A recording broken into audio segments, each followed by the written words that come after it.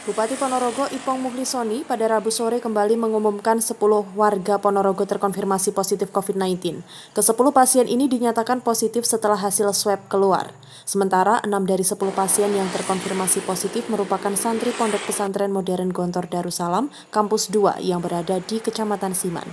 Keenam santri Gontor yang terkonfirmasi positif berasal dari Makassar, Manado, Banjarmasin, Ternate, serta Goa, Sulawesi di selatan.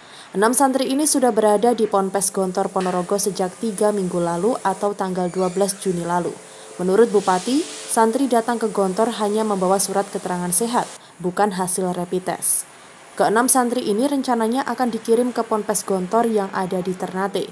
Namun karena hasil rapid test yang dilakukan Dinas Kesehatan Ponorogo, mereka reaktif dan hasil PCR hari ini mereka positif COVID-19.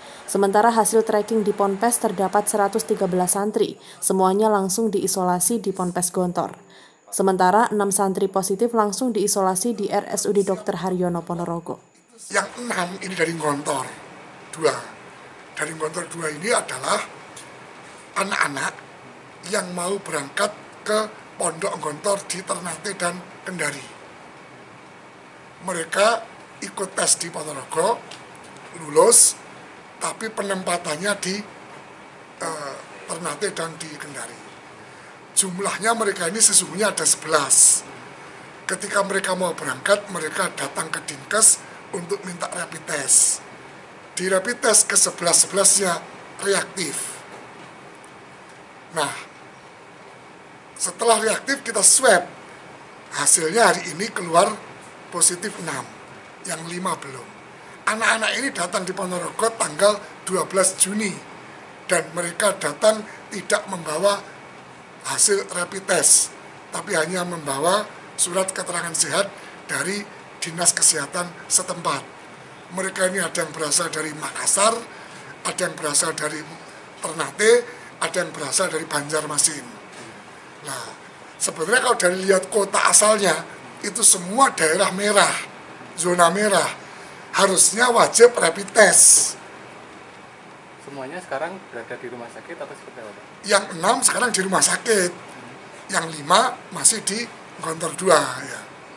Terus dari hasil tracking didapat berapa banyak orang Pak yang? Dari hasil tracking digabung dengan yang satu orang satu anak yang putranya orang sidoarjo itu sudah ketemu sekarang sekitar 100 13 ya.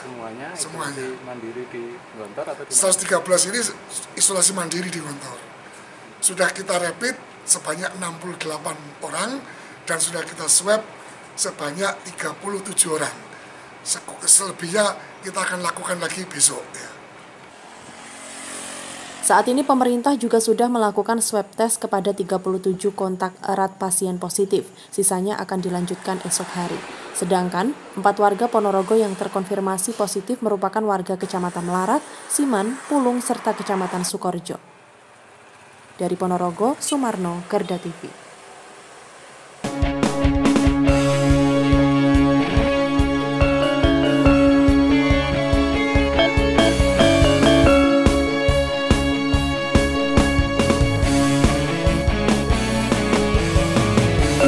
Yeah, Revolution Working